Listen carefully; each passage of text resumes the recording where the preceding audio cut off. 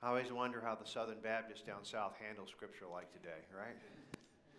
I'm not quite sure how to handle it sometime either. Uh, but what do you suppose is the uh, most expensive bottle of wine ever sold? Any guess how much was paid for it? Well, anyone know? What? Screaming Eagle Cabernet purchased in um, 1992 for a mere $500,000. At a charity auction, you got to mind you, because I understand that you people can actually buy it for five or six thousand um, dollars. I guess a, from a private seller or maybe a, a private auction. So it's not really the most expensive. The most expensive actually sold for what it was around what it was worth was Chateau Cheval Blanc, a 1947 vintage, sold for $304,000 in 2010. Anyone interested? Anyone buy anything like that? Most people I know who drink wine, not all of us do drink wine, but those who do drink wine, most people I know are, are in the two digit figures. Now, I've known a few three digit people uh, who uh, wines, and they always, I get an invitation, I usually go. but most of us don't want to spend that much money. It's an outrageous amount of money to spend. You know, my theory is you, you buy something under $20, you get close to 10, and you buy the best you can in that range of price, and then you're doing pretty well, if you like wine at all. But here we go, and people pay all kinds of prices for that wine. And if someone were to offer me a really nice taste of a really expensive wine, I'm guessing I would probably take it. In fact, it's happened one time in my life. Uh, I had a small group that we led up in Chicago, up, up in Winnetka, and there was a guy there who had probably the best wine cellar, one of the best wine cellars on the North Shore, and that's saying a lot, right? And uh, he was a very loving man, uh, made a lot of money, gave away a lot of money, and um, he went to a charity auction. He bought this bottle of wine for $800 was what it was supposed to be worth. $800.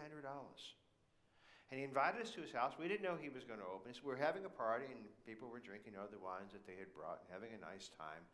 And um, right before we left, he said, I've got a bottle of wine I'm going to open. He opened up that bottle of wine and gave us each just a small little taste of this. And, you know, I, I have all these people in that church who were sommeliers. They're sommeliers want to be, you know, you know. And I, I was listening to that word today in French. read the word sommelier like it's spelled in French, and you leave the M out. You know what it spells? Some liar. Because I figure people who are always talking about the taste of wine, they're saying what they think is, but may not really be tasting it. You know, so some liars. Yeah, I like that. Um, so I, am watching everyone else what they're doing and how they're going about it. And they get that, and they're they're they're swirling the wine in their glass, and they're looking at it, and they're they're watching the legs crawl down and see how much sugar is in it, and then they're putting your noses down deep into the wine, which looks really strange when you look at a distance, and they're sniffing it, and then they're taking the first sip. And I took the first, followed along, did all those things I thought I was supposed to do, and I took a taste of that wine. And I don't know how to describe the taste of wine. I'm really terrible at this. And this is not going to meet any wine spectator standard for how you describe wine. But that wine was kind of like that chewing gum in Willy Wonka factory, you know, the ones the kids eat and it changes flavor several times. It's like, oh, it's roast beef or it's, it's mashed potatoes, it's corn. Well, it kind of had that ability to change flavors. It was surprising. I couldn't describe the flavors, and it was nice. But you know, I thought it really cool that our friend opened up the nicest bottle of wine at the end, towards the end of the party, and we were all treated, and we felt very honored by that. Now, today we have a scripture that is uh, a well known scripture in the Bible. Today we are going to savor together a vintage scripture from the Gospel of John that has a rich multi layers of flavor for us to dissect and understand and appreciate. And this nice savoring is something um, that uh, people down south always love this scripture. Now, I, I grew up down south. Drinking was something, if someone was drinking, they were potentially on the road to hell. And one of the signs of salvation that, that smoothed the way for salvation was you'd given up drinking. That was a sign that you were serious about being saved and coming into the faith. Because they understood um, that hell that, that, that they could take you to hell. Well, you know, there's some truth to that, right? Because everyone here knows someone who's been to hell because of alcohol. And even if that you don't you know that person, you may know it because you're in relationship and that's put you through hell. So when I talk on this scripture, I, want to mark that because alcohol can be a very devastating, dangerous thing in people's lives. But uh, so th- these friends of mine, these Southern Baptists, I, I want to call them liberal Southern Baptists, but that seems to be oxymoronic, uh, you know, something you can't really say. And uh, they always thought, well, great, we've got this scripture, and Jesus drinks wine.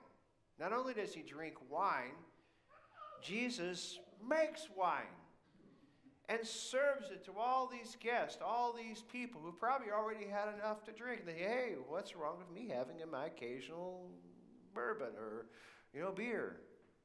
Nothing wrong with that. But that's not what the scripture's about. It's not a moral lesson telling us it's okay to drink wine or okay to drink beer or, or alcohol. In fact, that's a very shallow way to approach the text. It is actually a scripture about transformation, about powerful. It is actually a symbol of something of who Jesus is and what God is doing in our lives. Jesus goes there with his disciples. He goes with Mary, his mother, one of the few stories we have like this with Jesus in his adult life, where Mary is featured in the story. And he goes there to a wedding, must have been a wealthier family, as Susan had suggested. And horror of horror, they have no wine. They have run out of wine. And Mary is just horrified that this has happened. She can see a social disaster because this groom, who the night of his life is supposed to treat everyone, is going to have everyone walking away from his party pretty soon because the wine is gone and he didn't think to buy enough wine. And he's going to be considered stingy for the rest of his life. It is a social faux pas. You remember the movie Apocalypse Now? There's, there's a line that I think of for that movie. The horror, the horror, you know? The horror. They've run out of wine. They don't have any. And Mary says, I know what I can do about this. And she says, Jesus, Jesus, son, you got to rescue them. Go, go do something about this. You're the only one who can. And Jesus says, Mom, it's not time for that. And I think as a pastor, I know what he's saying, you know? as a pastor, I, I'm just at the party. I don't want to have to be on. I just want to enjoy myself with my buddies, right? But that's not what it's saying at all. If you listen to the line the way it's printed, and it's, it's translated very well by all the translations, it says, My hour has not come. Now, that is not just a simple, that's a loaded little phrase here. My hour has not come. It's all through the gospel that you will see those words, My hour has not come. And it comes at the end of the gospel. What's the hour? What's Jesus' hour? What's he talking about? Well, he's talking about the cross. Because in John's gospel, the cross is not a sign of suffering and pain as it is in the synoptic gospels. It is a place where he is lifted up on the throne, and the light of Christ that is in Jesus shines upon the people God's grace is shining out into the world for all to see. God's glory is revealed through Jesus. And people either run and hide because they're, they're scared of being seen, or they realize the grace and love of Christ in their lives and they become followers of Christ. So, the hour of Jesus is that moment when he's lifted on the cross and when he is resurrected and then when he ascends. And all through John's gospel, we have these series of stories that are called sign stories. They're not really miracles, they're really sign stories. And they reveal glimpses of that moment that happens on the cross. The light of Christ glimmers through, and the same thing happens that happens when he's up on the cross. Not everyone sees it. Most people don't. Most people don't realize what's happened. It's just light. for some people, they know it's the light of God, the light of love. And that's true it's what happens in this story. Jesus performs the miracle, and servants take him to the water. He performs the miracle, and the wines, they take it to the wine steward, the guy in charge the wine, they take him a, a, cup of it and say, Here, here's the wine, see if it meets, meets standards.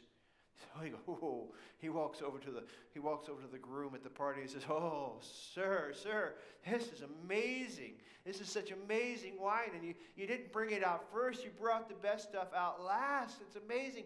No one does that, and you got all these jars full of it. Extravagance, so much that they'll never drink it all, and it's the best that they could possibly be." For him and most people, it is what? The best part of their life. For the disciples, it's much more than that. It is life itself. It is the best moment of your life. Because we're told that in this first sign that Jesus does, they come to understand who Jesus is. They are transformed. Something within their, themselves is not the same. Their worldview is changed. They don't just see the party and think, oh, how good God is. They think there's a God behind what's happened here. And there's a God behind everything that happens in my life. All the gifts of my life are being blessed. And they begin to realize what a gift their lives are and how God is always present and always transforming life, always transforming things. And they get to recognize that. It's a transformation of the heart. It's a difference between stagnant, stale, tasteless water and vibrant, powerful, robust wine. It's the difference between getting by in life and having abundance in life. Not just linked, though it's included in this, but quality of life. It's the difference between making the most of life and going through the motions and realizing that there's some deeper meaning and purpose to this life of which I have a chance to share in that makes life have a wondrous quality like a wondrous glass of wine. And that's the power of the story. It couldn't be a more powerful image, this transformation of water to wine. Now, here's the other thing that the story tells me. It's a comparison between religions. Remember the water? The water was what? From ritual jars. They were used for ritual. It's a symbol of religion, not just Jewish religion. It's really a symbol for all religion.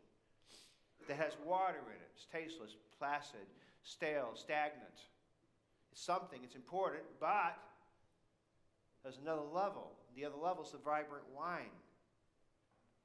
Because the story is telling us that Jesus is the fulfillment of the Old Testament prophecy. And what happens in the prophecy? Some of the prophets talk about that day will come where wine will flow freely and people will be joyful and there will be a great party and everyone will partake of that food and that wine and that feeling and people will feel deep love and devotion that people feel sometimes when they go to a party. Right? It will transform the spirit of people. There will be connection and there will be a sense of love between people and there will be a sense of abundance in people's lives. They're not going to be the same because of that transformation that takes place, that powerful moment. And I think about how oftentimes we turn religion into something that is focused on the externals rather than the internals. We think that religion, and many people think this, I hear it all the time, that religion is primarily about being a good person. It's primarily about morality and that avoiding being punished so we, we may receive something and be rewarded. And even Christianity has this gospel, that's what we often turn it into. We want to make it just a moralistic religion. And when it's really about that transformation that takes place a transformation of the heart, a transformation of the attitudes in our heart. Now, the outward external things matter, but, they, but what really matters is the transformation that takes place. And when that happens from deep within, you then live those attitudes in what you do in your life. That's how you live it. I mean, think about Thanksgiving. You know, you can go through life and you can have something nice happen. Yeah, I'm happy, thanks, that's good. Or you can go, wow, what a gift that was. You can take something. Um, I remember once hiking and I was starved because we, we were lost and we hiked like 18, 19 miles in the mountains with backpacks and we didn't have any food. And I hated tomato soup, and someone handed me a cup of wonderful, warm tomato soup, and we finally got to the campsite late. I didn't even know if I was going to find the campsite. I hate tomato soup. It was the best thing I ever put in my mouth. I felt such gratitude for my life, and what I've been given. And when you feel gratitude in your life, what happens? And you feel mercy, you start feeling compassion for other people, right? I mean, if you've experienced love and compassion, it makes you prone to show compassion to others. You're moved by it, you do something about it. You can't help but want to do it. And you become more generous when you feel thankful. Why? Because I've received something. I want to share what I have with others. I don't want to hold on to it. And furthermore, I trust that there is one who is giving to me, and because I'm being given to, I can hold on to things much lightly and I can share with others and know that there is one who will provide, that there is enough in this world. I don't have to hoard it. And I don't have to support attitudes in our country that hoard things and keep other people from having it. That's powerful stuff. Because it teaches us attitudes like kindness that we live out of, attitudes towards generosity. Those are the dispositions of the heart. Now, there's a movie that I've, Les Mis, most people have seen Les Mis. I don't even want to, how do you say Les Miserables? No, I can't say it correctly. Uh, but uh, I'm not good on my French. But it's a great movie and play and book. Uh, and uh, there's a character in that movie. The main character is a man who, who has lost everything. He has nothing. He's very poor, and his sister is starving, and so are her seven children. And he steals bread in order to feed his sister and those seven children because there's not enough food for them. And he is arrested and put into prison for 19 years, some of those years for escaping, but many of those years because he stole to feed his family. And when he gets out, he's still destitute. And he doesn't know what to do with his life. And Jean is his name, Jean Valjean, uh, doesn't have any place to work. No one will give him a job because he has a yellow card, yellow papers, which is a symbol he's an ex-con. No one will hire him. So he goes he stays in a small town with a priest, and the priest is a very loving family. He stays here for many days, and then one day he slips away at night, goes into the dining room, and steals much of the silver in that dining room and escapes and goes away.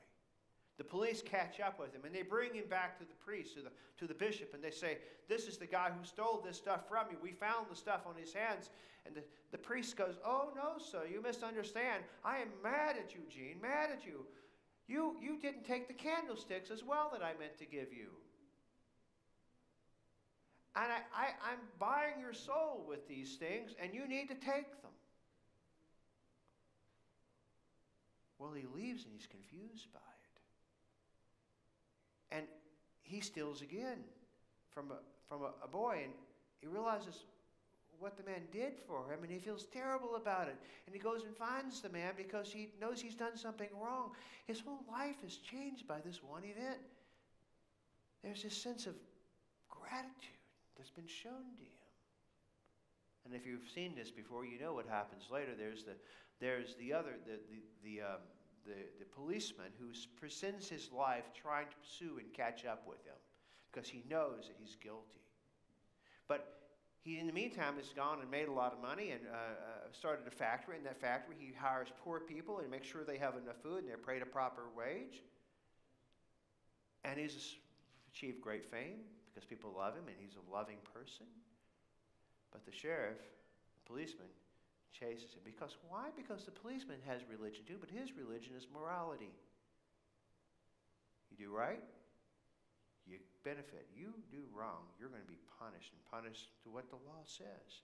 He doesn't understand grace. But Jean, he understands grace. And that is what the difference between old religion and true Christian and Christian religion, which is a transformation of the inner self.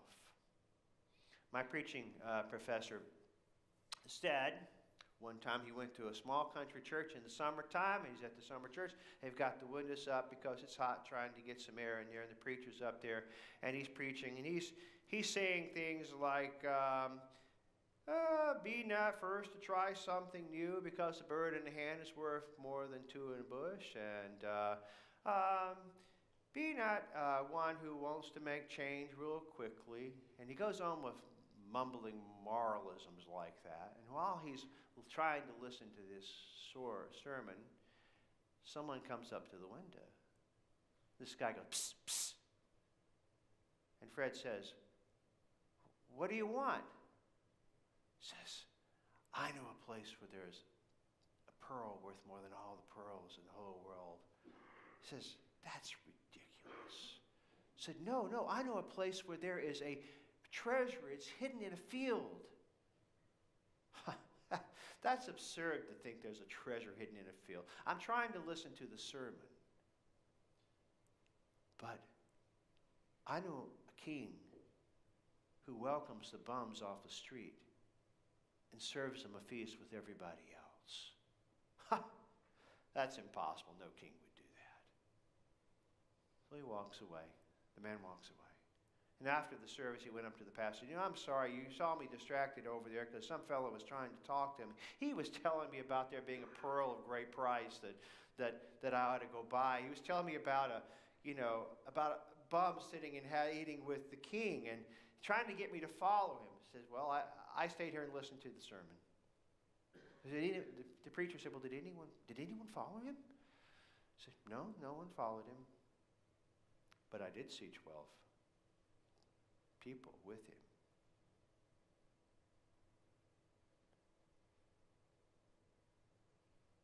And our gospel says, our gospel says, Jesus performed his first sign, his first miracle at Cana of Galilee. He revealed his glory. And disciples were the only ones who believed and followed on that day. And it's a choice we all have to make. What kind of religion do we live? Is it one of the heart of intention of transformation? Or is it one of the externals and just moralisms and punishment and reward? There's something more profound that God has to share with you. And that, my friends, is the wine that we have to savor and enjoy for a lifetime. Amen.